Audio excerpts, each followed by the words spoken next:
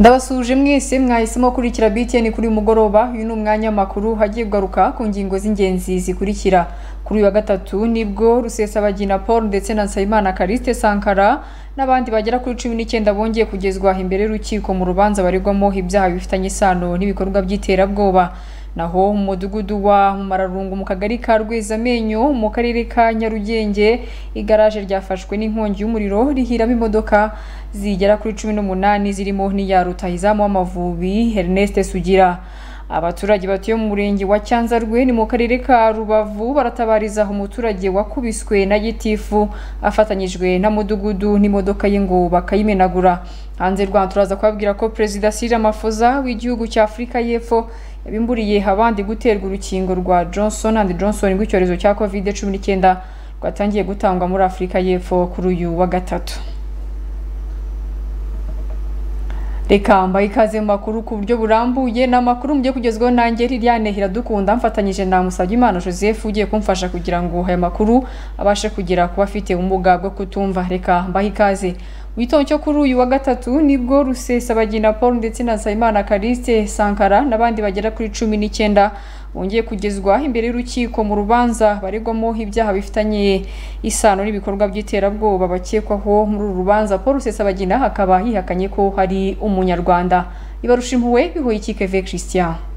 Ahagana ku isa mbiri n'iminota cumi n'itanu ni bwo abaregwa bageze mu rukiko rw'ikirenga ruri ku kimihurura aho iburanisha ryabereye bose bakaba barafashwe mu bihe bitandukanye ariko bakaba bahuriye ku byaha bifitanye isano. Ku isa mbiri n'iminota mirongo ine n'icyenda inteko iburanisha yageze mu cyumba cy'iburanisha umucamanza atangira atanga iminota itanu kugira ngo itangazamakuru rifate amashusho n'amafoto mbere y'uko urubanza rukomeza. Ku isa mbiri n'iminota mirongo itanu n'itandatu hatangiye gusomwa imyirondoro y'umwe mu baregwa bose ikubiyemo amazina aho avuka umubare wa nimero nimero za telefone atunze hanyuma hagakurikizwaho ibyaha aregwa. Umwanditsi w'urukiko yasomye ahereye kuri Kariste Nsabimana uzwi nka Sankara Sengimana Heremani akomereza kuri Rusesabagina Paul. Yavuze ko Paul Rusesabagina ari mwene Rupfure Thomas na Nyirampara Keiza wavutse tariki ya cumi n'eshanu Kamena igihumbi kimwe magana cyenda mirongo itanu na kane muri serire ya Nyakabungo segiteri Inkomero komine Murama prefegitura ya Gitarama ubu ni mu karere ka Ruhango mu ntara y'Amajyepfo. Rusesabagina Paul wari wunganiwe na Metre Gatera Gasha Gashabana yabajwe niba umwirondoro wasomwe ari uwe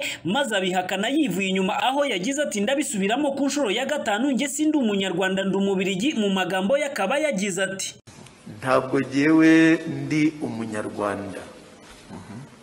Nagira ngo nongere mbisobanure ku nshuro ya gatanu. Nsabimana karikise sankara watangiye abazwa niba yemera umwirondoro we yagize ati murakoze nyakubahwa perezida umwirondoro n'uwanjye nta cyahindutse akaba yari yunganiwe na metre nkunda barashimo yize ubushinjacyaha muri uru rubanza bwari buhagarariwe n'abashinjacyaha batanu barimo umushinjacyaha mukuru wungirije habyarimana angelique dushimimana claudine umushinjacyaha ku rwego rw'igihugu ruberwa bonaventure umushinjacyaha ku rwego rw'igihugu habarurema jean Pierre ndetse n'umushinjacyaha Habimana Jean umucamanza Antoine Muhima akaba ari we warukuriye inteko yaburanishaga. Rusesabagina Paul yatangiye avuga ko afite inzitizi zituma urubanza rutatangira ati njye nk'umubirigi waje nshimuswe nabonaga urukiko rudafite ubushobozi bwo kumburanisha.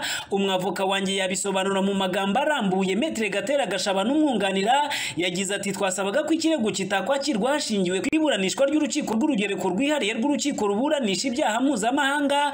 Aho yagize ati ese yafa yafashwe mu buhe buryo hakurikizwa ayahe mategeko bigaragara ko byakurikizwa hakurikijwe ibyari byemeranijweho n'ubushinjacyaha n'ubucamanza bw'ububirigi nk'ubufite ububasha bwo kuburanisha.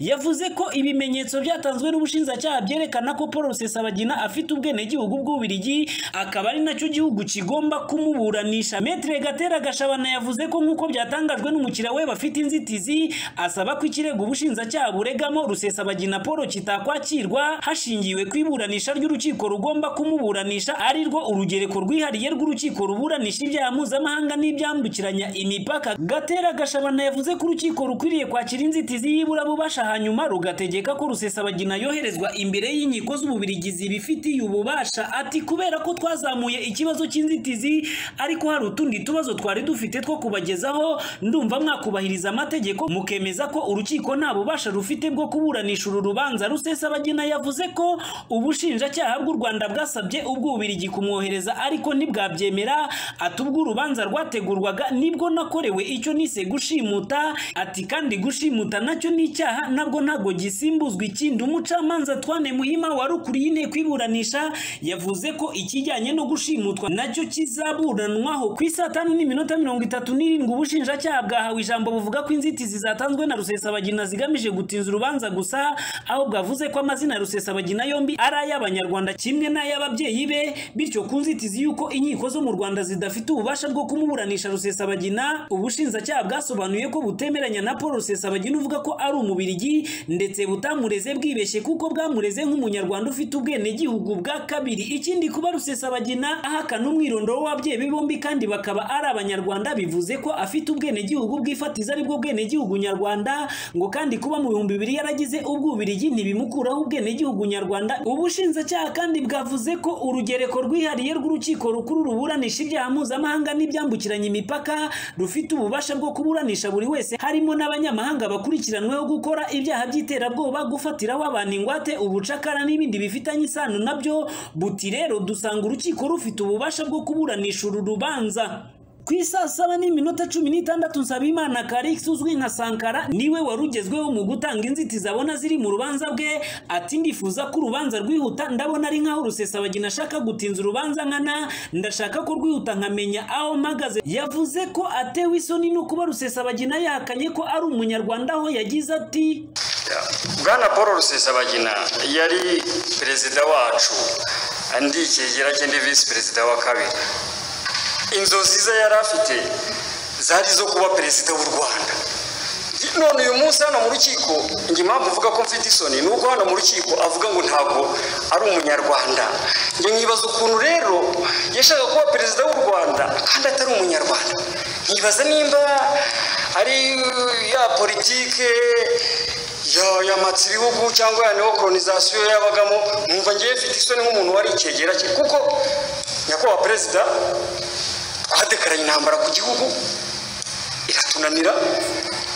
Baradufata metre nkundabarashi moyize wunganira sankara yavuze ko nta nzitizi babona zatuma urubanza rutaburanishwa akaba yasabye ko umukiriya we yari amaze kwisobanura ku byaha icumi ariko byaba byiza ari uhereweho mu kwisobanura kugira ngo dosiye ye yihutishwe. Ku isaa saba n'iminota makumyabiri n'irindwi umucamanza Antoine Muhima wari ukuriye inteko iburanisha yasoje iburanisha avuga ko umwanzuro ku nzitizi zatanzwe na Rusesabagina uzatangazwa ku wa makumyabiri na gatandatu Gashyantare ibihumbi bibiri na makumyabiri na rimwe ku isaa mbiri n'igice za mu gitondo kuri uwo munsi kandi hakazanumvwa abandi bafite izindi nzitizi. Urubanza ruregwamo paul rusesabagina wari perezida w'impuzamashyaka mrcd na nsabimana kariste wise sankara ndetse na herimani nsengimana bahoze ari abavugizi b'umutwe w'inyeshyamba wa frn n'abandi barwanyi cumi n'umunani. Ubushinjacyaha ni bwo bwasabye ko dosiye z'abaregwa zihuzwa bugaragaza ko ibyaha baregwa bifitanye isano ku kirego cyo hejuru bwavuze ko kandi bose bakurikiranweho ibyaha bijyanye n'umutwe wa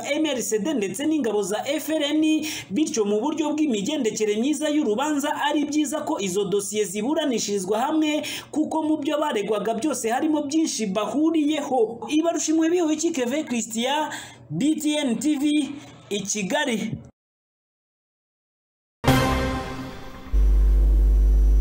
Dukomeje n'andi makuru twabateguriye reka twerekeze mu ntara y'amajyaruguru aho abaturage barema isoko riherereye mu murenge wa mutete ni mu karere ka gicumbi.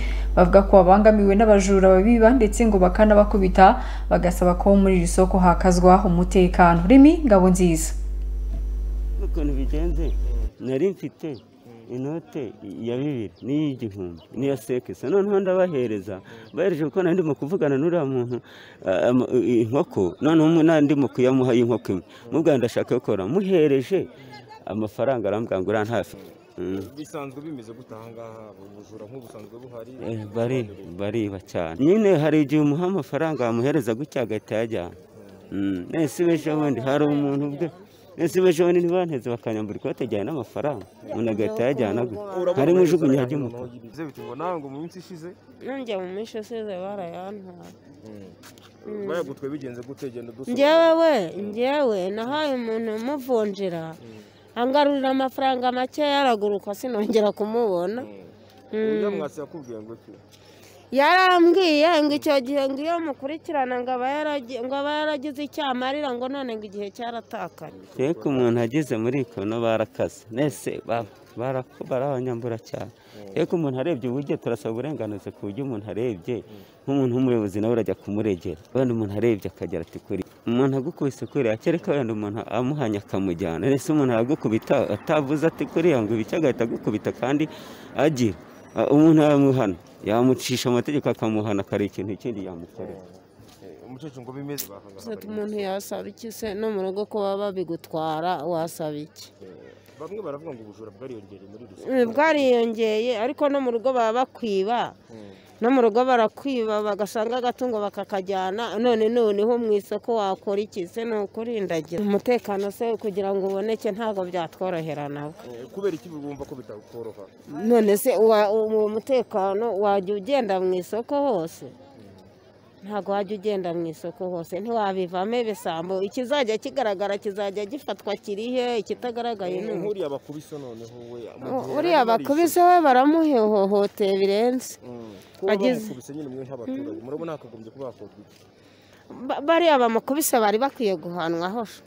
Ageze- bamukubise nyine mwe nk'abaturage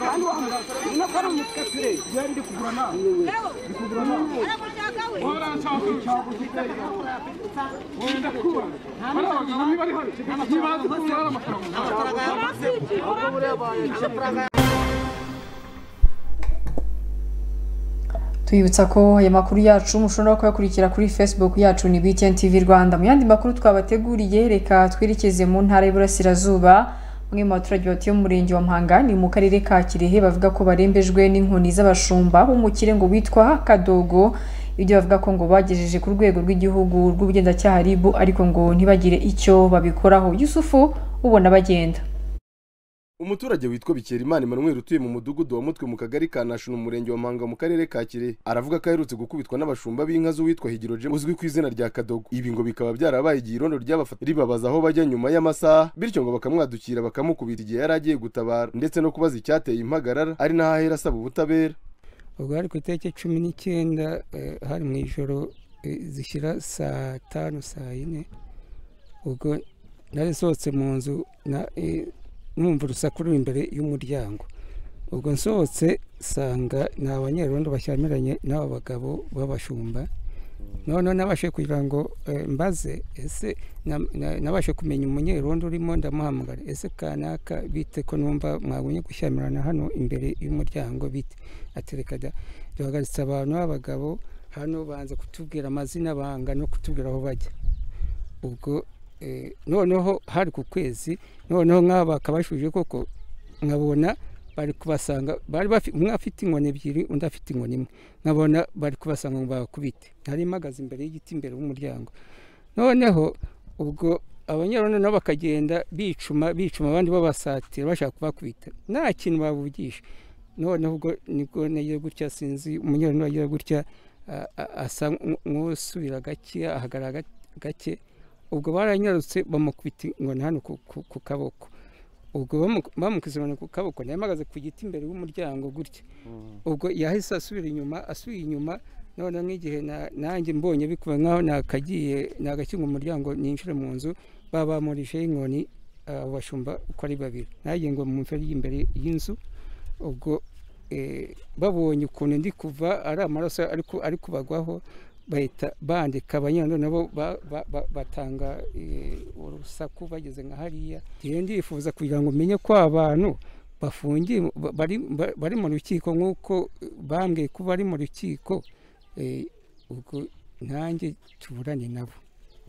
Eh, bambwiye icyo banzizaga simbazi nanjye nibanze. Abaturage batandukanye bo muri uyu murenge wa Mpanga baganiriye na BTN TV bashimangira ko muri aka gace higanje inkoni z'aba bashumba ba Higiro. Ibyo bamwe bitanga hingero ko bakubiswe bityo ngo bigapfa ubusa. Bakibaza impamvu abakozi ba Kadogo badafatwa ngo bahanwe bikabayobera. Nanjye naje mu bantu bahuruye usanga ko umusaza baramugushije ndetse bageza kutwiyereka inshuro zigera muri ebyiri tubirukaho baradusiga. Rero mu by'ukuri twaje dutabaza umumotari umujyana ariko iyo usanga higiro kadogo ahangamira abaturage n'ahangaha ni iyihe? Nta moto ushaka kugera mu ifamu ye ngo have amahoro.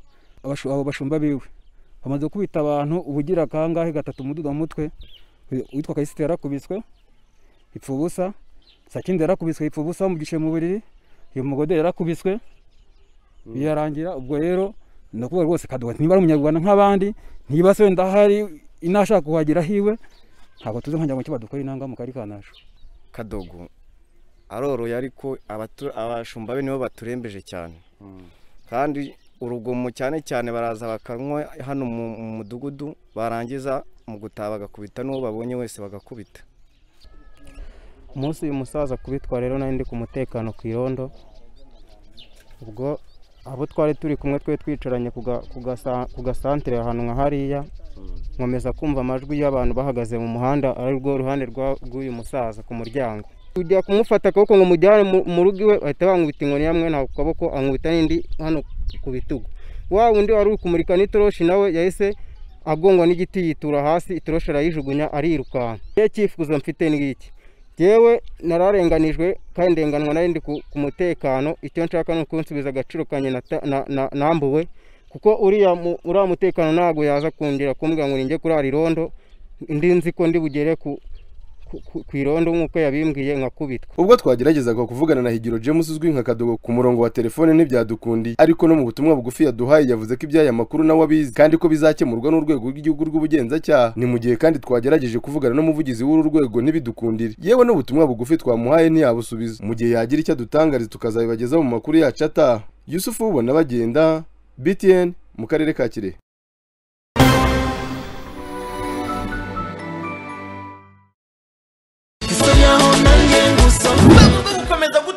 Ibikorerwa iwacu mu rwanda. Tunashyira mu bikorwa ibyifuzo by'abakiriya bacu. Uruganda rwenga inzoga z'ubwoko bwa jini rwa inguvu jini limitedi kuri ubu twamaze kubashyirira ku isoko. Ubundi bwoko bubiri bwa rikeri zacu. Harimo nka new house home town.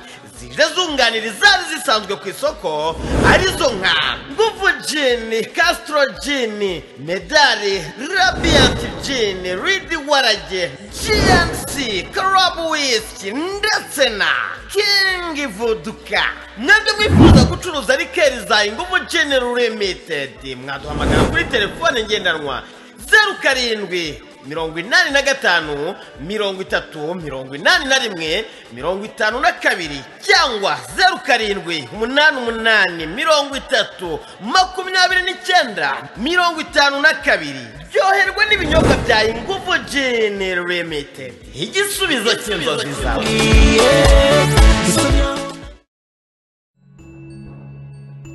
Kudafata no kutayobora amazi y'imvura ni imwe mu myitwarire ituma tugira ibibazo by'ibiza. Bikadusenyera inzu bikangiza n'indi mitungo. Ni muri urwo rwego minema ishishikariza abantu bose gufata amazi y'imvura ukoresheje ibigega n'ibindi bikoresho gushyira imireko ku nzu mu rwego rwo kuyobora amazi ava ku mabati guca no gusibura imiferege iyobora amazi ndetse no guhoma neza inzu kugira ngo amazi adacengera mu nkuta. Alarms Show.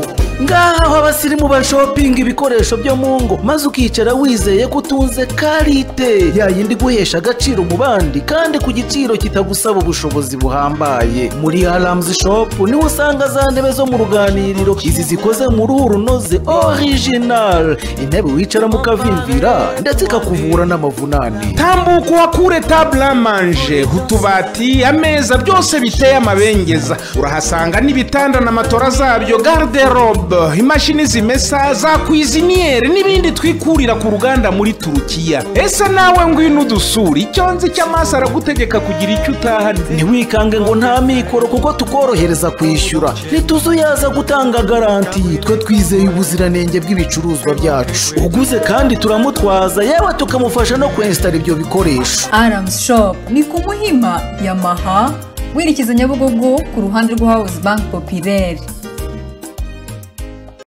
Genuine reflexology center. Uwamenye iki kigo nzahura buzima ntazahazwa n'indwara z'imitsi cyangwa iz'ingingo kuko aba bahanga bazihangamura bifashishije reflexology. Bwa buryo bwihariye bukangura imyakura.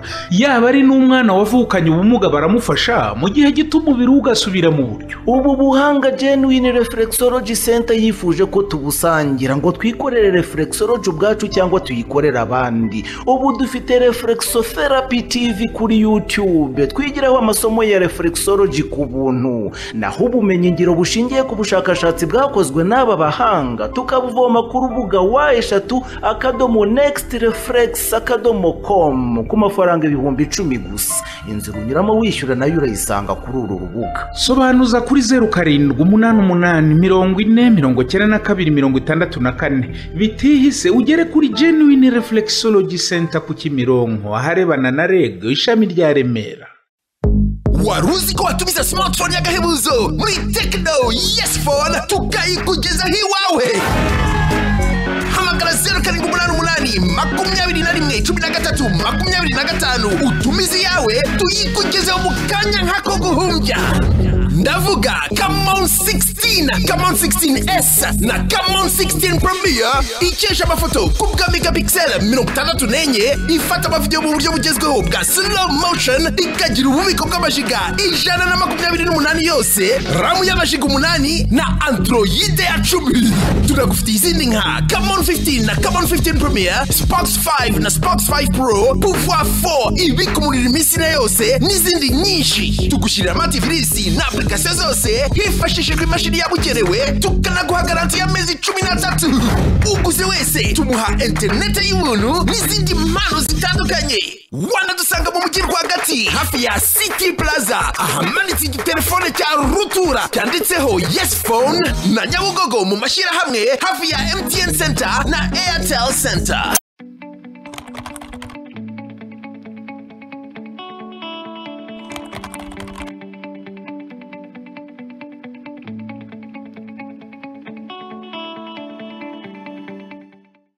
Alo ema sava umeze neza Oui. Ça va Keti oya shange ntabwo meze neza pe shuye mpe stresse kandi cyane Byageze bite? What happened? ni ukuvuga ngo urabona byenge nakubwira ibyanjye byo kujya hanze kwiga hanze biri kwanga n'ubushize abatekamutwe banugiye bandira andi mafaranga ibintu byancanze mbese ntabwo bimeze neza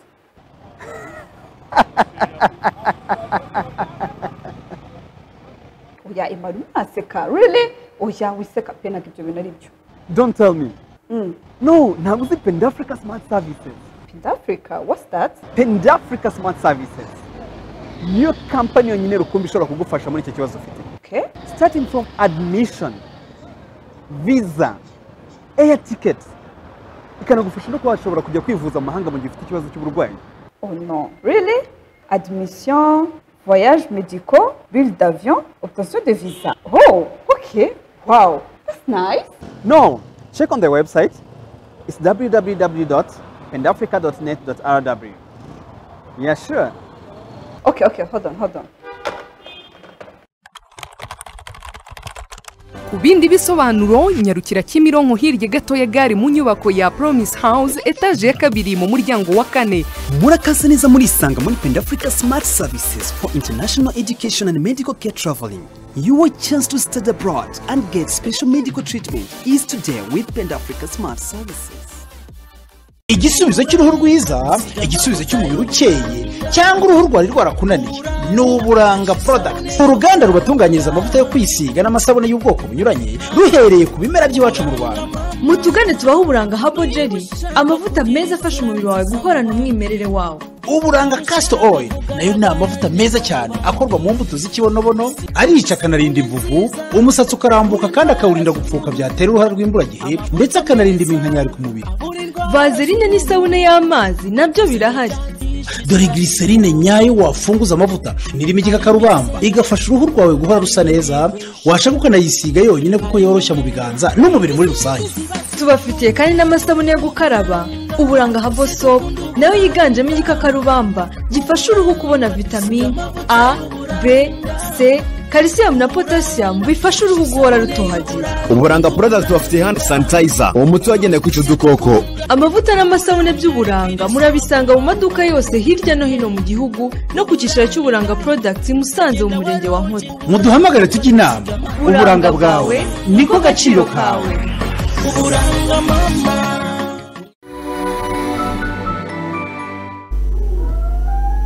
Mukomeje gukurikira amakuru hano kuri btn mu yandi makuru twabateguriye mu mudugudu wa mumararungu mu kagari ka rwezamenyo ya mbere ni mu karere ka nyarugenge. Igaraje ryafashwe n'inkongi y'umuriro rihiramo imodoka zigera kuri cumi n'umunani zirimo iz'amambasade ndetse n'iya rutayizamu w'amavubi sugira ernest. Celestin ntarusha amaboko harakomeza n'inkuru irambuye. Hafi mu masaha saa cyenda z'igicamunsi cyo kuri uyu wa gatatu ni bwo ku muhanda wa kaburimbo uturuka nyabugogo werekeza i nyamirambo cyangwa se hafi hazwi nko kwa mutwe. Ni umuhanda ugabanya imirenge itandukanye ya nyarugenge. Harimo rwezamenyo nyakabanda ndetse no hafi ya kimisagara ni ho igaraje ryahiye ryari riherereye. Ikirere cyose cyabaye umukara mu bice bitandukanye aho abaguri bose mu bice bitandukanye by'umujyi wa kigali. Wabonaga ikirere cyahindutse bamwe bibaza ibyabaye. Iyi nkongi y'umuriro ni mu igaraje rishya rihari yatwitse imodoka zigera kuri cumi n'umunani zose zakongotse. Nyiri iri garaje murara aruturu aganira na btn tv ntabwo ijwi ryashobokaga gusohoka neza yari agifite agahinda n'intimba ari nyinshi. Dore ko yadutangarije ko ngo mbere yahunze cyangwa se yaje muri aka gace avuye mu gishanga kugira ngo ave mu manegeka none naho yari atangiye imikorere naho ahise ahura n'iki kibazo cy'inkongi. Tumubajije ku bijyanye niba yari afite ubwishingizi yatubwiye ko ngo ibiganiro byari bimaze igihe n'amasosiyete y'ubwishingizi kugira ngo urebe iyo bakorana ariko ngo atari yamara kujya mu bwishingizi. Aha kandi avuga ko icyateye inkongi ku ruhande rwe ngo ari urusinga runini rw'amashanyarazi rwamanutse nuko ngo rugwa ku modoka. Ibi byahuye na tineri aho barimo baterera irangi kuri izi modoka bihurirana n'ama hasi inkongi itangira ubwo. Iyi esanse yagendaga ituragurika ndetse no mu bice by'umuhanda abantu bakagira ngo ni imvura ijojobye cyangwa se ibaguyeho ariko bikagaragara ko ari esanse yagendaga itumuka inagwa ku bantu mu bice bitandukanye. Inzego zitandukanye ariko zose zari zateranye cyane cyane iza polisi ishami rishinzwe kuzimya inkongi z'umuriro. Imodoka imwe babonye idahagije haza kwiyambazwa indi ya kabiri izwi nka kizimyamwoto. Abayobozi kandi mu nzego zitandukanye zaba iz'umutekano ndetse n'iz'ibanze ni nako kandi bacyahaga abantu kuko ubwirinzi bwo kwirinda icyorezo cya kovide cumi n'icyenda kubera gushukamiriza no guhurura bwasaga n'ubutakiriho. Imihanda yo yari yamaze gufungwa mu gihe hafi kigera ku isaha. Ababonye inkongi tuganira baravuga ko ari ubwa mbere babonye inkongi imeze itya. Ntabwo yari isanzwe. Wenda nk'uko mubyumvise mugeze hano.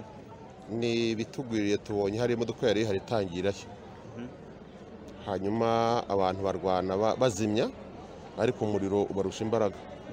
Niko guhamagaza polisi kugira ngo ishobore kudutabara. Mm. agaragaje ko irimo imodoka zigera nko muri cumi n'umunani hari bamwe bavuga ko ari ubwa mbere babonye inkongi nk'iyi. Kuri mwe mwifata gute? Ni ubwa mbere inkongi nk'iyi tuyibonye. Ubundi ntabwo yari isanzwe mbese ni ibyago nk'ubundi nk'uko bisanzwe biba. Ntabwo bisanzwe biboneka. Mu bandi kandi bahuriye n'isanganya muri izi modoka harimo y'umukinnyi w'ikipe y'igihugu y'u rwanda amavubi uzwi nka sugira ernest. Uyu nawe twaganiriye ku mutima nawe bigaragara ko yahuye n'igikomere. Ah, nk'uko mu nsanze hano cyangwa mubibona nyine mu bagize ibyago bakabigira muri ino garaje nanjye ndimo ntakarijemo imodoka yanjye kuko nari nayizanyemo gukoresha akantu gatoya ariko ku bw'ibyago nyine navuga ntazi n'aho biturutse sinzi umuntu nsanze mu rugo arambwira ngo iyi modoka yawe ko nakubonye uyiparika hariya kandi hakaba hahiye wagiye kureba ko na yo itagize ikibazo. Nyine manutse nsanga already yahiye sinzi kizakurikiraho bo ntabwo navuga yuko ari ibintu wenda izi modoka zimwe zihanitse ariko uburyo iyo itakaje imodoka iyo ari yo yose iba ifite agaciro gakomeye. Ni korora aritisi ku bayizi. Ubu ngubu ihagaze hafi miliyoni zirindwi. Ariko burya ntabwo biba ari byiza gutakaza ikintu cy'agaciro kangana gutyo. Rero ni byiza cyane yuko biguteje igihombo kingana gutya Sugira wari bimaranye igihe kingana gutya imodoka? Mbona nyimaranye igihe kirekire. Imodoka naguze nkiri nari mbere yuko nsohoka muri aperi.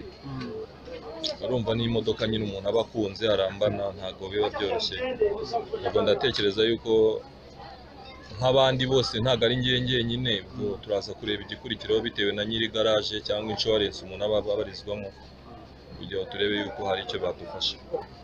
Nkoresha ndakeka harabaye sanira mu bundi ari sorasi ntabwo byo nabyinjiramo cyane ariko ninkurikirana ndabasha kumenya wenda ibyo nzahabwa cyangwa nzagenerwa kuko ntabwo watwara ikinyabiziga kidafite ubwishingizi muri kino gihugu ntabwo bibaho.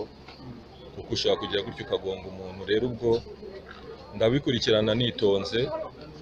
Iyo ugize ibyago ntabwo wahita uhubuka ngo utangaze ibintu kuko urimo gutekereza ibintu byinshi. Nk'uko mubibona mu bice bitandukanye hano inyuma yanjye ikirere cyose murabona ko cyabaye umukara.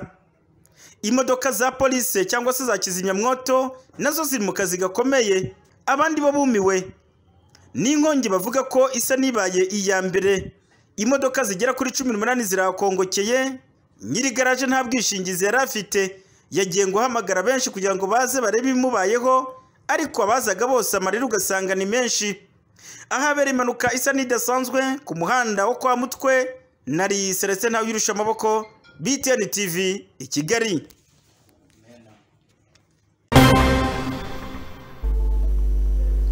Arakoze mugenzi wacu celestin ntawusha amaboko. Amakuru yacu reka tuyakomereze ku itangazo rya minisiteri y'ubuzima risohotse ku mugoroba kuri uyu wa gatatu ku itariki cumi na zirindwi z'ukwezi kwa kabiri uyu mwaka wa bibiri makumyabiri na rimwe rivuga ko uyu munsi mu rwanda habonetse abarwayi bashya b'icyorezo cya covid cumi n'icyenda bagera ku ijana na makumyabiri na babiri. Aba bakaba barimo mirongo itatu na babiri bo mu mujyi wa kigali cumi na batanu bo mu karere ka muhanga icumi bo mu karere ka kirehe umunani bo mu karere ka karongi umunani bo mu karere ka ngoma barindwi mu karere ka gatsibo batandatu mu karere ka kayonza batandatu mu karere ka nyaruguru batanu mu karere ka gisagara batanu bo mu karere ka Rulindo batatu bo mu karere ka Rusizi batatu bo mu karere ka Nyamagabe batatu bo mu karere ka Ngororero ndetse na batatu bo mu karere ka Nyagatare harimo kandi babiri bo mu karere ka Nyanza babiri bo mu karere ka Huye umuntu umwe mu karere ka Rubavu umuntu umwe mu karere ka Kamonyi umuntu umwe mu karere ka Bugesera n'umuntu umwe mu karere ka Gakenke uturere tuhagaragayemo nk'umurwayi w'icyorezo cya covid cumi n'icyenda kuri uyu munsi harimo akarere ka Burera Gicumbi Musanze Ruhango Rwamagana Nyabihu Nyamasheke ndetse n'akarere ka Rutsiro. Uyu munsi kandi mu Rwanda hakize abagera kuri magana ane na mirongo ine na batatu icyorezo cya covid cumi n'icyenda. Kuri uyu munsi mu Rwanda hapfuye abantu batatu bazize icyorezo cya covid cumi n'icyenda. Twihanganishije imiryango y'abagabo batatu harimo umwe w'imyaka mirongo itanu n'irindwi n'undi w'imyaka mirongo itatu n'umunani bo mu mujyi wa kigali ndetse n'undi w'imyaka mirongo itandatu n'umunani wo mu karere ka bugesera. Muri rusange abantu bamaze kwandura icyorezo cya covid cumi n'icyenda hano mu rwanda bamaze kugera ku bihumbi cumi na birindwi na magana arindwi na cumi na batandatu muri aba ngaba abakize ni ibihumbi cumi na bitanu magana cyenda na cumi n'umunani. Kugeza kuri ubu abakirwaye ni igihumbi magana atanu na mirongo itanu na batanu abarembye ni abantu cumi n'umwe aho kugeza kuri ubu hamaze gupfa bishwe n'icyorezo cya covid cumi n'icyenda mu rwanda bagera kuri magana abiri na mirongo ine na batatu. Abapfuye bagera kuri batatu imana ibakire mu bayo reka dukomeze n'andi makuru twabateguriye twerekeza mu ntara y'iburengerazuba mu karere ka rubavu aho nyuma yaho bamwe mu baturage batuye mu karere ka rubavu badahwema kugaragaza ko babangamiwe n'ingaruka baterwa n'umugezi wa sebeya. Kuri ubu akarere ka rubavu ubuyobozi bwako bukaba butangaza ko ngo umushinga wo gukemura iki kibazo ku buryo burambye ugeze kure. Muri rambina gaston nirembere. Mu bihe bitandukanye bamwe mu baturage bo mu bice binyuranye by'akarere ka rubavu ntibahwema kugaragaza ibibazo baterwa n'umugezi wa sebeya wuzura ukarenga inkombe maze ukangiza ibyabo ari nako basenyera ukangiza n'ibikorwa remezo. Mbere sebeya itarabomboka tuba dufite umutekano. Ariko noneho hariho yaturutse haraguru aho bita mu kiribata irongera ibombokera ahangaha muri gasenyi sebeya yarasakaye mu mazu amwe arasenyuka atuma abaturage bimuka bajya gucumbika imvura yaguye iyo ruguru mu mashyamba ni ho sebe yibona uko izi igasenyagura ibintu impungenge ni nyinshi kuko ituma turara tudasinziye. N'igihe iziye igatwara imyaka ugasanga n'amazu yaguye menshi. Buri gihe cy'imvura muri rusange isebe yihora yuzura. Ibyifuzo aba baturage bahorana ni uko basaba inzego zibishinzwe gufatanyiriza hamwe gushaka umuti urambye w'iki kibazo cy'umugezi wa sebeya udahwema guteza ibibazo ugasenyera abaturage. Ari nako wangiza imyaka bahinze ndetse udasize n'ibikorwa remezo. Twasaba inkunga kugira ngo bazayigomere amazi ye kujya asandaza abantu cyangwa ari n'ubushobozi batuboneye bw'aho gutura bakaba bahadushyira. Dukwiye gutabarwa pe. Bazongera kudusenyera ni uko hariya ho sebeya iturukaga ikajya mwayiramo imyaka ikatwangiriza no mu mazu. Mwadushyiraho sengenge bakaru- bakakora umuganda si bagakora nk'uko bakoze ku nyundo. Ni imbabazi turi gusaba kugira ngo turebe yino sebeya bazaduha ubufasha bayikore. Niba batayikoze bari bandi bo batuguranira tuje ku- kutura ahandi kuko sebe iratubangamiye cyane. Niba hari ubufasha mwatubonera bwo kugira ngo yino sebeya muyigomere mwayigomera kubera iki kibazo cy'umugezi wa sebeya ukunze guteza ibibazo by'umwuzure inzego z'ubuyobozi ntizahwemye kuvuga ko hari umushinga watangiye wo gushaka umuti urambye w'iki kibazo nk'uko bisobanurwa n'umuyobozi w'akarere ka rubavu habyarimana gilbert aho avuga ko hari intambwe imaze guterwa mu kugabanya ibiza biterwa n'uyu mugezi wa sebeya dore ko ngo umushinga wo gukemura burundu ibibazo biterwa n'uyu mugezi ukomeje ku buryo mu minsi iri imbere hazaba hari impinduka zijyanye no gukemura iki kibazo. Mu by'ukuri twavuga ko hari intambwe twateye. Iyo hatagira ibikorwa bikorwa n'uriya mushinga muri iyi mvura imaze iminsi iri kugwa twari turahura n'ibibazo bikomeye. Eh, ariko kubera hari ibikorwa bifatika byari bimaze gukorwa eh, intambwe twari tumaze gutera eh, nibura hari aho byageze nk'amashuri ntabwo twagize amahirwe ntiyabasha kugerwaho ni- ni- ni- n'ibi biza. Eh, ariko icyo navuga ni iki? Ni ukuvuga ngo hari aho bari bataragera. Ni na cyo kigiye gukurikiraho ku bikorwa byihuse nanone bikwiye gutuma imvura iri hano imbere itazatugiraho ingaruka eh, zikomeye. Ariko noneho eh, mu- gihe cy'izuba kiri ikizaza ni ho hateganyijwe ibikorwa bikomeye birimo amadamuzi eh, azajya yoroshya ariya mazi aka- akagenda akwiriye. Kandi ibikorwa byo kubikora byaratangiye yaba ari ingurane ku, baturage bafite imitungo aho ngaho yaba ari inyigo zose. Ubu ngubu eh, dutekereza ko mu- gihe cy'izuba eh, kizaza nibura tuzaba twizeye yuko umushinga uzaba ugeze kure. Ibyo byose ni ibikorwa mu by'ukuri byenda bigiye kuzadufasha gu- gu- guhagarika ikibazo twari dusanzwe tugira hariya. Uko imyaka yagiye ihita indi igataha hakunze kumvikana amajwi y'abaturage agaruka ku bibazo bitandukanye baterwa n'umugezi wa sebeya wuzura ukarenga inkombe maze ugasatira aho batuye ari nako bamwe basenyera ubundi ukangiza n'imyaka baba barahinze. Inzego z'ubuyobozi na zo ntizahwemye kuvuga ko iki kibazo kirimo gushakirwa umuti urambye ariko na n'ubu biracyagaragara ko hakiri byinshi byo gukora kugira ngo iki kibazo gikemuke burundu uyu akaba ari umukoro ku nzego zibishinzwe. Gasito nirembere btn tv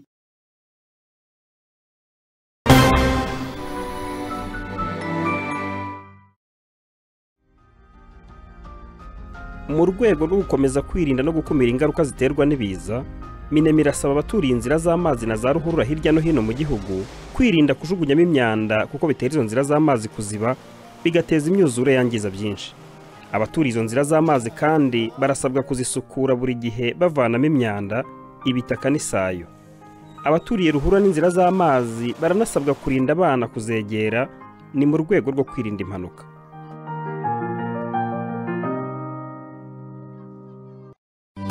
Mubyeyi. Nuramuka ugize umugisha wo kubyara. Wihangayika wibaza aho uzakura ibikoresho byiza bizaherekeza umwana wawe kuva ari uruhinja kugeza akuze. Iturize maze ubihahire muri iturize ubeho shopu niryo duka rukumbi rifite ibikoresho byiza kuva ku by'isuku nka pampa renjete amabase meza yo kumwogerezamo n'ibijyana na yo imyenda wamwambika mu gihe cy'ubukonje cyangwa cy'ubushyuhe yaba ari mu rugo cyangwa se wamusohokanye. Bagufitiye bibero nziza cyane amasahani meza n'ibijyana na yo bizagufasha kugaburira umwana wawe kugeza akuze. Muri turizi ubeho shopu kandi tuzanagura ibikinisho birimo nk'imodoka nini umwana yicaramo akitwara. By'akarusho ni twebwe duhagarariye pampa na renjete bya iturize bebi izi pampa zahawe icyemezo cy'ubuziranenge na rsb kandi ubuhanga zikoranye buhisuka umwana wawe dore ko zishobora kujyamo hafi litiro eshatu z'amazi. Dusanga mu mujyi wa kigali muri downtown muri etaje ya kabiri mu muryango wa s mirongo inani ahateganye na lagalete ndetse niba wifuza kurangura uduhamagare kuri zeru karindwi iminani ibiri mirongo irindwi na kane cumi na gatatu mirongo irindwi na rimwe. Niko agaciro k'uruhu rwawe waba ukazi ukaba ukiri usiga inenge mvamahanga. Iwacu hari abahanga bahanze akeza gakesha uruhu rwawe kakakuzamurira uburanga. Kitwa shayina uzi ukuntu glycerine ya shayina ifungura amavuta wisiga agafata ku mubiri neza. Wanayisiga yonyine akagukiza wa mwera wananiye ayandi. Cyo kimwe na vaseline yayo ikesha abakuru n'abato bagasigara bashashagirana kurusha shenete ya zahabu. Si ibyo gusa kuko igufitiye isabune y'amazi yoza ibyombo bigasubira ibushya n'ibindi bikoresho byinshi by'isuku n'uburanga. Ku bifuza kurangura mwaduhamagara kuri zeru karindwi umunani gatatu mirongo ine na gatanu mirongo itandatu n'umunani mirongo icyenda na rimwe maze ibyiza bya shayina biriho ikirango cy'ubuziranenge cya rsb tubisakaze mu rwanda hose. Shayina shashagirana na yo. Ubuyobozi bw'uruganda salama mashini bwari busanzwe bukorera amateri nyabugogo inyuma y'amashyirahamwe banejejwe no kumenyesha abakiriya bari basanzwe barangurira amateri nyabugogo n'abandi bifuza kuduhagararira hirya no hino mu gihugu ko mu rwego rwo gukomeza kubaha serivisi nziza ko ubu rwimukiye ahagutse ku ruganda rwabo rushya rwuzuye mu karere ka gasabo mu murenge wa jabana uzamutse ku muhanda werekera kuri uwo murenge ugatambika ibumoso bw'uwo muhanda. Burabamenyesha ko nyuma ya matera ya relax form yakunzwe n'abatari bake babazana indi matera ya dada materesi n'ubundi bwoko butandukanye kandi bakomeje kuzamura karite mu byo bakora. Baramenyesha kandi abashaka kugura kuri detaye ko hirya no hino mu mujyi wa kigali no mu turere ahacururizwa matera murahasanga n'izikorwa n'uruganda salama mashini ubuyobozi bw'uruganda rubifurije gucuruza mwunguka dukomeza no kwirinda icyorezo cya coronavirus. Ku bindi bisobanuro mwahamagara zeru karindwi umunani umunani mirongo ine na gatanu mirongo ine na kabiri cumi na gatatu cyangwa se zeru karindwi umunani umunani mirongo itandatu na kane mirongo icyenda n'umunani makumyabiri n'umunani. Economic policy research network eprn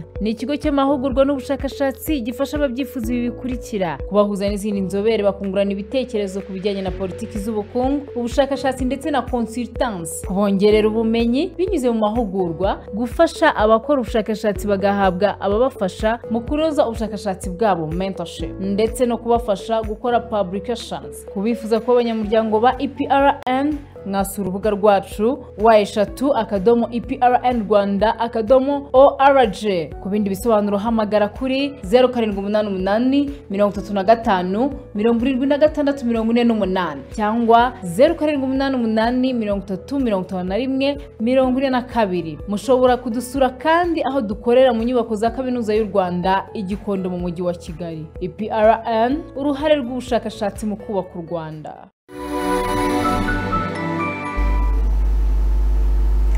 Reka twerekeze mu ntara y'Iburengerazuba aho abaturage batuye mu mudugudu wa bugu ni mu murenge wa cyanzarwe ho mu karere ka rubavu bavuga ko batabariza umuturage witwa twizeyimana hanastasi bavuga ko ngo wakubiswe n'umuyobozi w'umurenge afatanyije n'umukuru w'umudugudu ndetse n'imodoka ye ngo bakayimenagura. Inkuru irambuye na ndahiro valence papi. Ndonandi hano umwana wanjye ariko turi kuzira akarengane umuntu yaba atambutse bakamukubita yuko ari injike akagira ubusane akakwambura ndaryamaganye ndamuturage wo kuva ku murenge ajya gukubitira abantu hano mu rugamba rw'abantu n'abadushyigikiye bose ngo bakubite.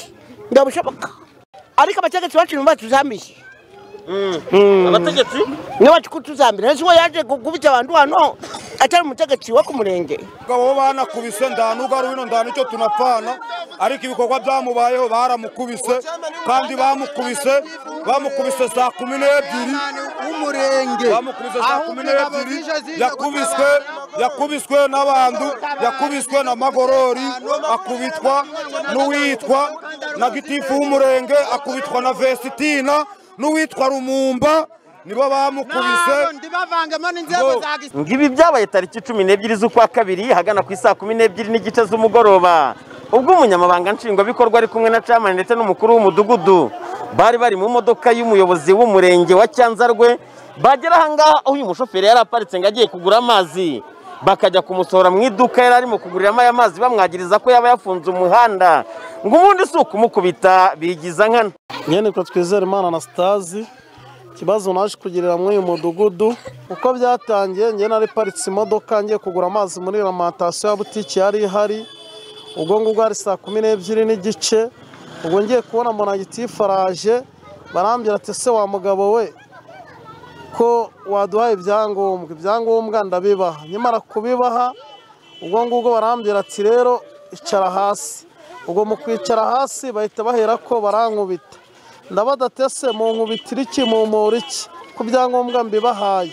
Ubwo ni ho natabaje abaturage abaturage barahagera ubwo ndangije barankubita mbona banjyanye kwa muganga. Kugeza iyi saha ntabwo nzi ikintu nzira kandi nakubiswe nakwa n'amafaranga nakwa na telefone amafaranga ibihumbi magana atatu na makumyabiri. Nkaba rero icyo nifuza nkaba nakwifuza ko nashyikirirwa ubutabera bakandenganura kuko narenganye. Usibye kuba ibi ngibi bishimangirwa n'uyu mushoferi uvuga ko yakubiswe ndetse akajya no mu bitaro. Binashimangirwa n'abaturage babyiboneye amaso ku maso aho banashimira ingabo z'u rwanda ngo iyo zitahagoboka. Uyu muturage aba yarahasize ubuzima. Ni nabwo babwiye na gitifu uti wowe gitifu iyi modoka yifate uyitware turebe ko hano hantu itarahanyura. Imodoka yaje kuhanyura baramubwira ngo yisubize n'inyuma shanariyeri irongera inyura inyuma. Ubwo n'izi ngabo zarahanyuze ubwo ngubwo cyakoze namwe mu bikurikirane nk'abanyamakuru. Naho ubundi umuntu yarakubiswe rwose bigaragara. Banamukora n'ibintu bibigara n'igihe cyo hinyayo nk'umuntu w'umugabo. N'abaturage bose barabireba mbese ahubwo ikibabaje kirimo ni uko ingabo za rdf zaje zigatabara. Ahubwo bakaba bari kuzishyira mu kibazo kandi ari zo zarokoye uyu muturage na nyi- n'umurwayi nyirizina arahibereye nawe yoba ubwo guhamya iyo ingabo za rdf zitaza. Baba baramwishe akubiswe n'umuyobozi w'umurenge na cyamani w'akagari. Nuko barangije baramukubita sinzi ukuntu yafashe telefone. Ngaro ngo barangubise ngo abasirikare ngo na ba gitifu ngo na ba kemani baranyishe ngo bambagaritse. Akigitsa barahuraguye sinakubarira. Barakubita barakubita. Akavuga ngo njye muri kunyita nasinze mwakishe mwakishe ngo njye sinasinze. Ariko ari kuvuga nuko bamaze kuvuga ati sinasinze ingoni nani kari kuzijya ya telefone bayimwatse. Bahita basosora n'ibintu mu mufuka. Ngo ni ibyangombwa bye. Byose barabijyana na ya telefone ndi kumva ngo hariho n'abarebye yuko amafaranga bagize ute bayajyanye. Ikibazo cy'abayobozi bakubita abaturage ntabwo ari bwo bwa mbere cyumvikanye mu itangazamakuru ari na cyo abaturage batuye muri uyu murenge wa cyanzarwe baheraho basaba nyakubahwa perezida wa repubulika ko yakagombye gukurikirana imikorere y'abayobozi nk'aba bakaba bafatirwa icyemezo cyangwa se hagashakwa abandi babasimbura. Kandi cyane cyane ko n'abandi bamukubiswe bamukubise ni gitifu w'umurenge na camani na mudugudu wa kanembwe ari we maniraguha vestine. Gitifu w'umurenge dufite ni umunyarugomo ni umuntu uzi itegeko. Kandi ikindi niba ayoboye umuturage ntabwo byemerewe kugira ngo akubite umuturage wayoboye kandi azi n'itegeko kabe ni cyo kintu aturusha twe abaturage ahubwo ngicyo nifuza nasaba perezida wa repubulika n'izindi nzego. Uriya gitifu uri gukubita abaturage akabaragira kandi ingoma yo gukubita yaravuyeho? Bamuhindure baduhereze abandi bayobozi bazi amategeko bazi n'uburenganzira bw'ikiremwamuntu bamenye akamaro k'umuturage. Ngewe icyo nifuza gitifu na kemani w'umurenge. Na bariya abasirikare n'uwo mudugudu wafashe umunzenzi agakubita umugabo n'imigeri. Bazaze babahanire hano by'indangarugero mu ruhame rw'abaturage rwa twese. Tubone ko uriya muntu arenganuwe ngeni byose aba perezida wa repubulika nk'umuturage uyobowe na kazandebe kemani n'abo bandi bayobozi. Noneho nibamara kubahana by'indangarugero natwe ni ho tuzemera ko dufite abayobozi batuyobora kuko n'ubundi bazaba bari kuturenganura kuko turenganywa n'abatuyobora bazi n'amategeko.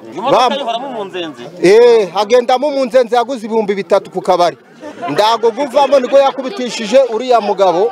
Manunire mu gihe abo baturage bavuga ko ibyakozwe n'umunyamabanga nshingwabikorwa w'uyu murenge wa cyanzarwe ndetse na chairman wa rpf ku rwego rw'umurenge n'uyu mukuru w'umudugudu ngo bidakwiye banavuga ko hari bamwe mu baturage ngo bahawe amafaranga n'uyu munyamabanga nshingwabikorwa w'uyu murenge kugira ngo bajye gutanga amakuru bita ko adahwitse ku rwego rw'ubugenzacyaha RIB mu rwego rwo gushakira ibyaha uyu mushoferi ngo ndetse aba ngaba bakaba baragiye no gutanga aya makuru. Gusa ku bw'impamvu z'umutekano wabo birinze kuduha amajwi n'amashusho yabo ngo kugira ngo uyu munyamabanga nshingwabikorwa atazabagendaho. Ibi byatumye tunyarukira ku biro by'umurenge wa cyanzarwe bakimara kumenya ko turi itangazamakuru. Mu gihe bamwe bavugaga ko uyu munyamabanga nshingwabikorwa ari muri ofisi ushinzwe daso ku rwego rw'uyu murenge aduhakanira ko umunyamabanga nshingwabikorwa w'uyu murenge ngo kuva bwacya batigeze bamuca iryera. Twamuhamagaye inshuro zigera muri makumyabiri ku murongo wa telefone ngendanwa tunamuha ubutumwa bugufi yirinda kugira icyo adutangariza ku bijyanye n'iki kibazo araruca ararumira. Twanyarukiye ku biro by'akarere ka rubavu kugira ngo tumenye icyo ubuyobozi bwaba bwarakoze kuri iki kibazo. Dusanga umuyobozi w'aka karere ntawe uhari tunamuhamagaye ntiyitaba. Tumuha ubutumwa bugufi ntiyabusubiza ibyatumye tuvugana na guverineri w'intara y'uburengerazuba munyentwara rufonsi ku murongo wa telefone avuga ko kino kibazo bakimenye ndetse cyatangiye no gukurikiranwa. Ngo kuko ntabwo bikwiye ko umuyobozi agomba gukubita umuturage. Ngo ubundi biherere aho ngaho. Bikunze ubwo ukuri kugomba kugaragara. Ubwo hari ibyo bakubwiye ushize akarere koherejeyo ikipe hari ibyo bababwiye. Tugomba rero kubihuza byose ariko n'inzego z'ubutabera zibindi. Kuko harimo icyaha nk'uko bivuga cyo gukubita ubwo n'ibyo ngibyo byo kutubahiriza amabwiriza bavugaga uko babivuga n'ubundi n'ibyo byabaye amasaha yarenze n'uvuga ko yakubiswe ariko ntabwo yaba impamvu yo gukubitwa byo birumvikana. Ntabwo amasaha yo kugera mu rugo yari yarenze ni ibyo bibazo byose birimo. Ariko uko biri kose urabizi ntabwo umuyobozi yakubita umuturage ngo ibyo birangire gutyo bimere gutyo gusa dusanze ari byo. Numva rero turiho turafatanya n'inzego z'ubutabera reka dushake ukuri hanyuma ibyemezo na byo bizafatwe ariko kuri tere nyine iyo uhageze nk'uko wagize hari abakubwiye hari izindi timu zagiye zigenda bahura n'abaturage bavuga bimwe binyuranye n'ibyo. Ariko icy'ingenzi ni uko inzego zibikurikirana zibirimo ndetse n'iz'ubutabera zirimo. Umuco wo kuyoboza abaturage inkoni ni kimwe mu bibaze kuba akarande muri bamwe mu bayobozi hakibazwa igihe uyu muco ushobora kuzacikira mu gihe abayobozi bo babeshya umunsi ku wundi ko umuturage ari ku isonga bikakuyobera. BTN TV mu murenge wa Cyanzarwe wo mu karere ka Rubavu mu burengerazuba bw'u Rwanda Ndindahiro Valence Papi.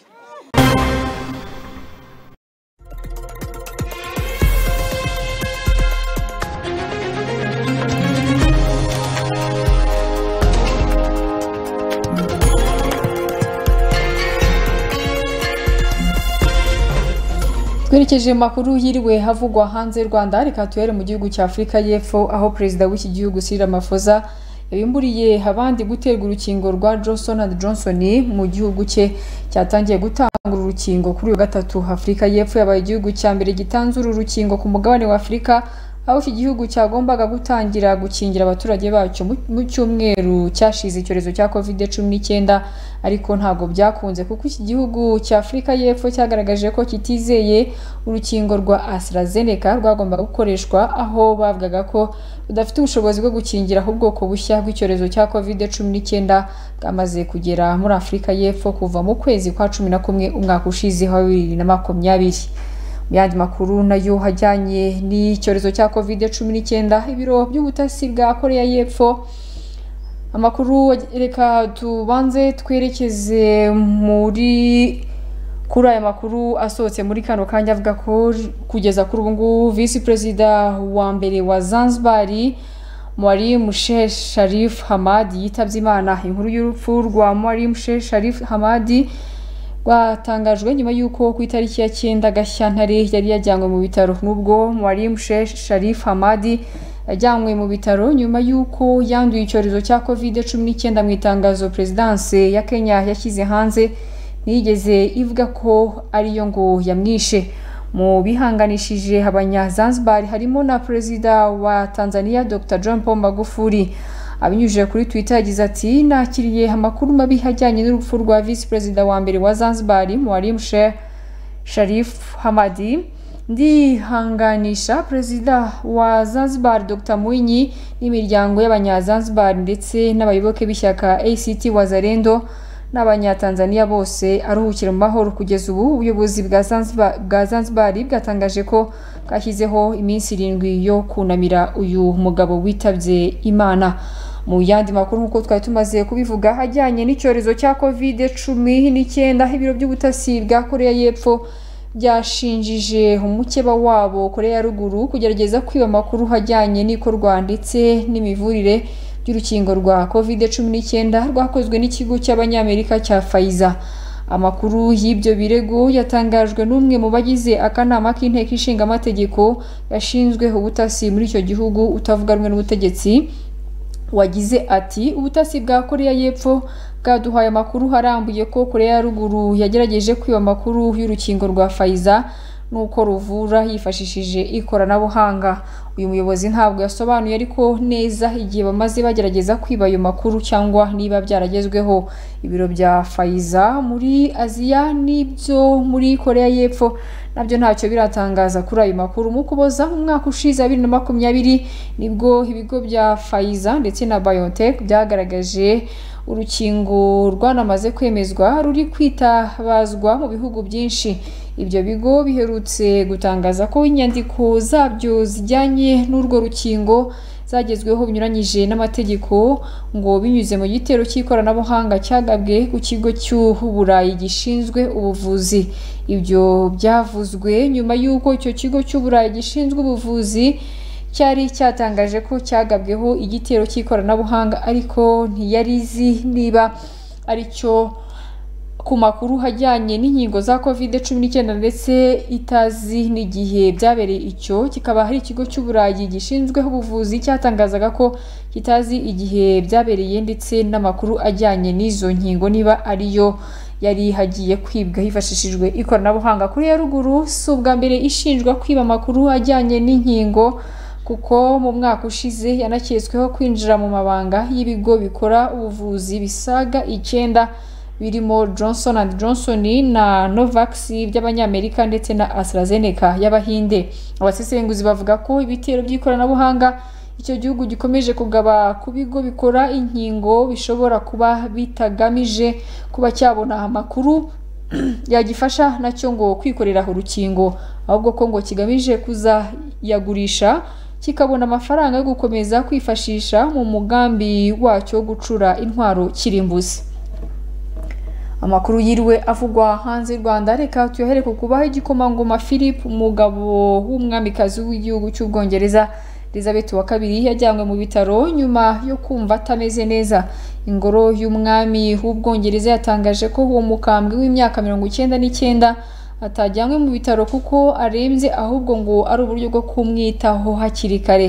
Ajyanywe mu bitaro bizwi nka king edward biri i londres mu murwa mukuru w'ubwongereza. Bbc yatangaje ko yajyanywe mu bitaro ari mu modoka bisabwe n'umuganga we ngo yari amaze iminsi nyuma yumva atameze neza. Icyakora ngo ntawe bihuriye na covid cumi n'icyenda. Mu kwezi gushize ni bwo igikomangoma philip n'umwamikazi elizabeth wa kabiri bahawe urukingo rwa covid cumi n'icyenda bakingirwa bari iwabo mu rugo. Kugeza kuri ubu mu makuru ajyanye n'icyorezo cya covid cumi n'icyenda ku isi agaragaza ko abantu bagera kuri miliyoni ijana na cumi n'ibihumbi magana abiri mirongo inani na bitandatu magana inani na cumi na batandatu bamaze kwandura icyorezo cya covid cumi n'icyenda hano ku isi mu gihe abagera kuri miliyoni ebyiri n'ibihumbi magana ane mirongo itatu na bitanu magana cyenda na mirongo icyenda n'umwe ari bo covid cumi n'icyenda bimaze guhitana hano ku isi.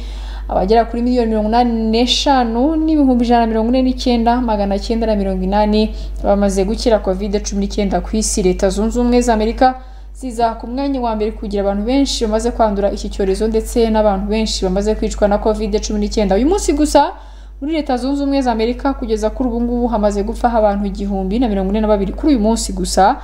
Leta zunze ubumwe za amerika ikurikirwa n'igihugu cy'ubuhinde brezil ku mwanya wa gatatu uburusiya ku mwanya wa kane ubwongereza ku mwanya wa gatanu ubufaransa ku mwanya wa gatandatu Espagne ku mwanya wa karindwi ubutaliyani ku mwanya wa munani turikiya ku mwanya wa cyenda ubudage bukaza ku mwanya wa cumi reka dutumikire abatumye turagaruka mu kanya n'amakuru yiriwe avugwa mu mikino.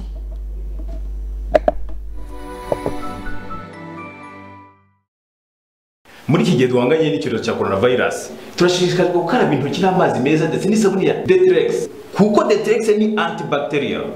Iyi sabune ya deterex ni isabune ihendutse yo gukaraba igendanye n'ubushobozi bwa buri wese. Ni isabune ikoranwe ubuhanga buhanitse ndetse n'imiti yabugenewe ku buryo biyiha ubuhangange bwo kwica bagiteri zose. Niyo sabune ya mbere leta yo gukaraba. Si iyo gukaraba intoki gusa kandi kuko deterex ni isabune yo koga. Kuri buri muntu wese mu byiciro byose. Igafasha abayikarabye gusigarana umutuzo n'umunezero kubera impumuro yayo y'agahebuzo. Ihendutse ite? Iyi sabune ya deterex turayisanga hirya no hino mu marimantasiyo za supamaketi ndetse no mu mabutike atandukanye. Ku bifuza kurangura mwahamagara kuri zeru karindwi umunani umunani mirongo itatu mirongo itandatu n'umunani. Zeru kabiri. Turashishikarizwa gukaraba intoki n'amazi meza ndetse n'isabune ya deterex.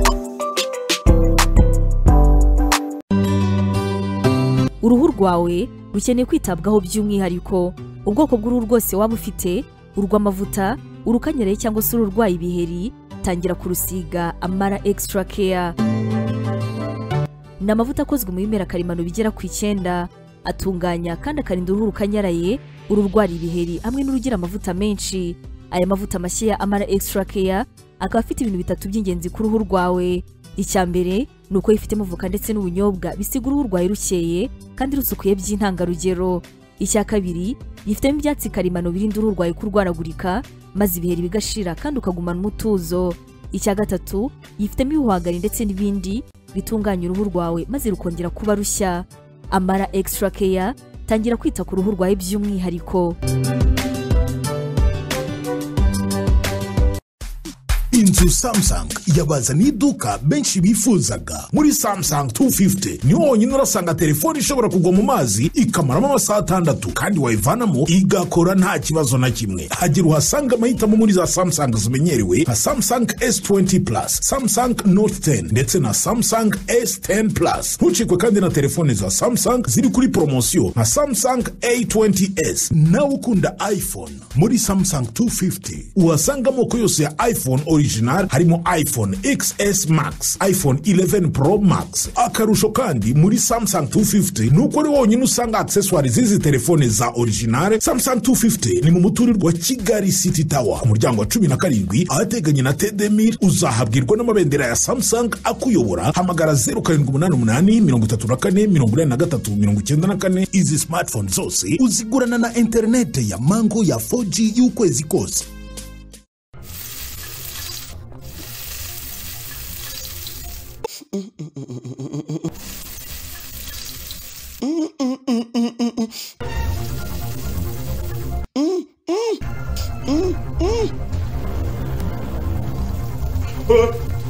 Turashize papa samu mama sa ni ukuri nawe uru rubanza rwagutsinda. Si wowe watekesheje iki kirungo cya sante?